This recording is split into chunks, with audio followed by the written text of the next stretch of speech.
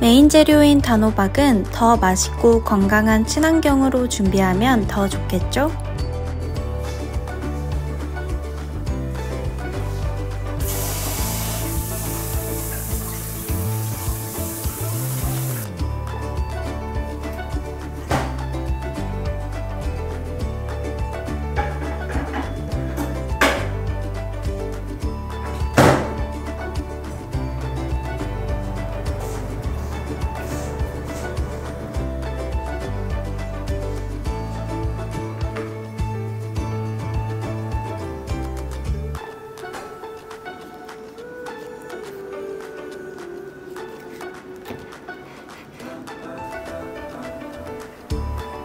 저는 조금 식혀서 맨손으로 만지고 있지만 방금 익힌 단호박은 매우 뜨거우니까 조심해야 해요.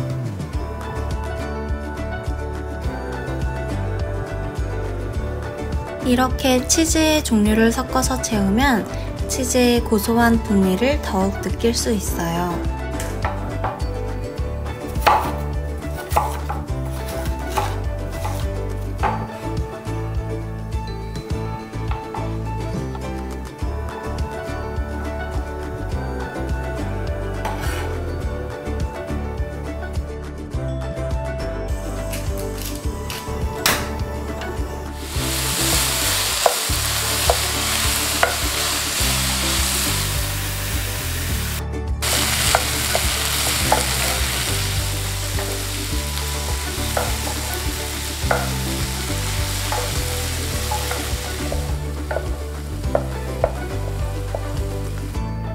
잘 볶아진 재료로 단호박의 속을 채우고 마지막으로 달걀을 넣고 후추와 소금을 한 꼬집 넣어줍니다.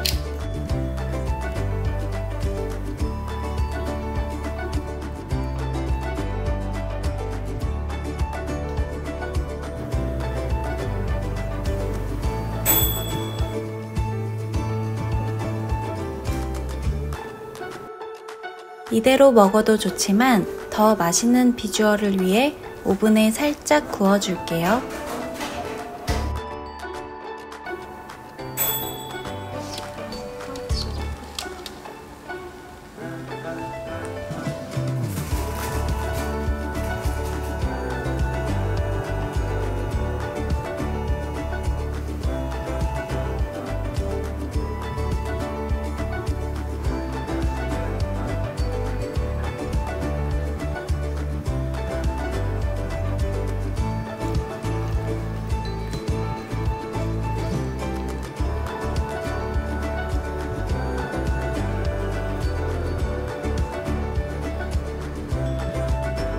지구와 환경, 그리고 내 건강을 지키는 가장 쉬운 방법.